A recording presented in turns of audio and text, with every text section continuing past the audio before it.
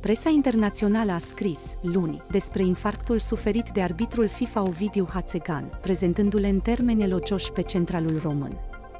Arbitrul UEFA de top, Ovidiu Hațegan, a suferit un atac de cord în weekend, ceea ce a necesitat transportarea lui de urgență la un spitalul din România pentru o intervenție chirurgicală de implantare a unui stent.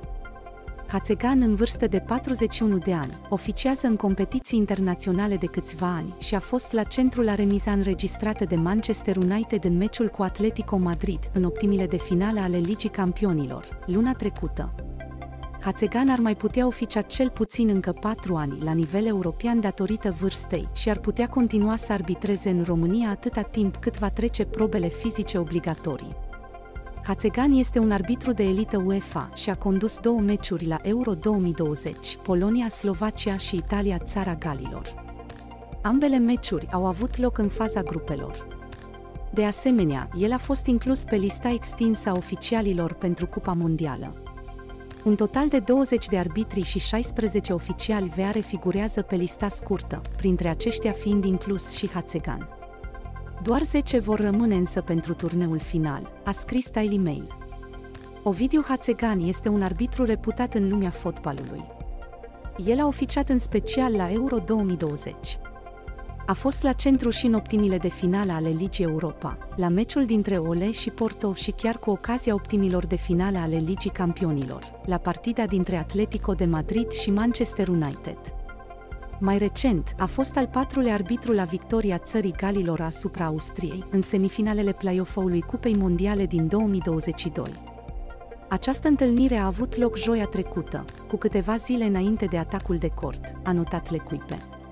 Arbitrul internațional român Ovidiu Hategan, unul dintre arbitrii preselecționați pentru a oficia meciuri la următoarea Cupă Mondială din Qatar, a suferit un infarct, duminică, și a fost operat cu succes. FRF nu a comentat posibilitatea ca această problemă de sănătate să-l priveze pe Hațegan de Cupa Mondială din noiembrie și decembrie, din Qatar, a scris și Mundo Deportivo. S.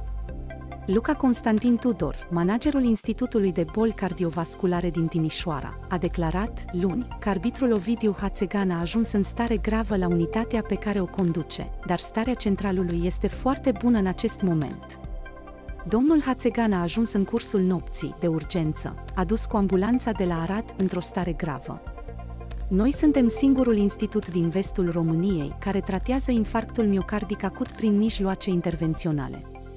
În concluzie, pentru că avem o linie de gardă care asigură permanența la laboratorul de angiocoronografie, a fost introdus de urgență în sală, i-am făcut angiografia, am constatat că are o arteră înfundată și s-a pus un stent.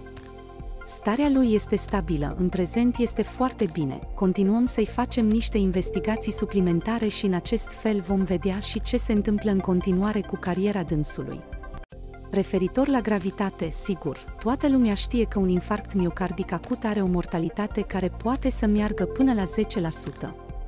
În condițiile în care pacientul este adus într-un timp util la spital, ceea ce a fost și cazul dânsului, sigur că prognosticul lui este mult mai bun nu cred că se pune problema de complicații ulterioare majore, iar în ceea ce privește cariera sportivă nu ne putem pronunța în acest moment, dar depinde cum vor evolua lucrurile în continuare și, bineînțeles, de opțiunea lui, a declarat Luca Constantin Tudor, într-o conferință de presă. Centralul de 41 de ani se afla acasă, la Arad, când a simțit dureri puternice în zona pieptului, duminică, după un antrenament. El a mers la camera de gardă la un spital local, unde medicii au stabilit că arbitrul a suferit un infarct. Ovidiu Hațegan a fost transferat de urgență la un spital din Timișoara, unde a fost operat și s-a montat un stent. Hațegan a revenit recent din Arabia Saudită, unde a condus câteva meciuri.